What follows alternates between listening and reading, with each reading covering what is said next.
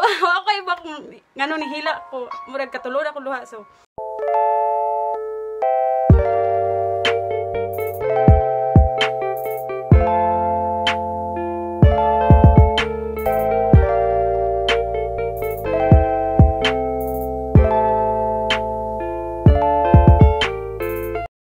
What's up mga ka-eyebags?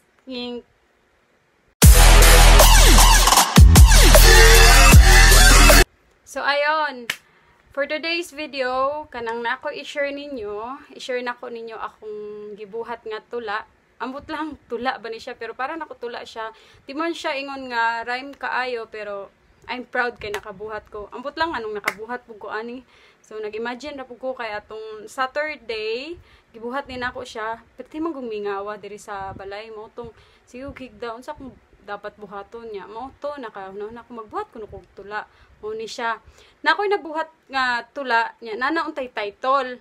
But pag human ato, pagkagabi ato, sige kog scroll sa Facebook niya na ako'y nakitaan ko mas murag bagay man nga title sa akong tula.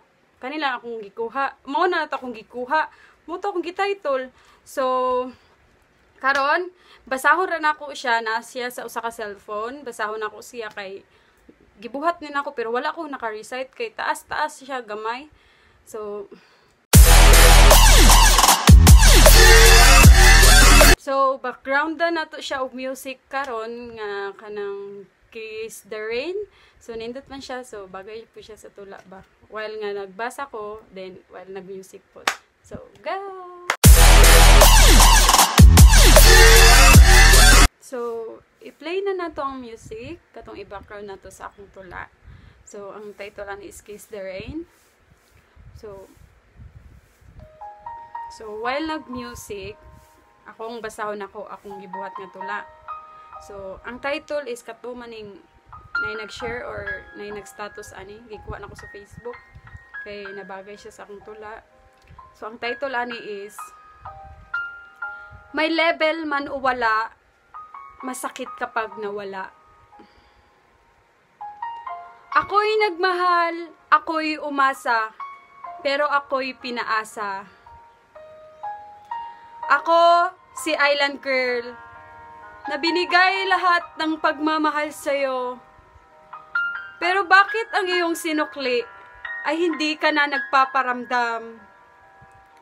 Nagmahal ako ng todo nang ako lang ang nakaalam. Paano ko to maiiwasan kung ang puso at utak ay puro ikaw? Sana naman mahal, iyong malaman na ikaw ay aking hinihiling sa may kapal. Pero wala na lahat dahil ikaw ay hindi na nagpaparamdam.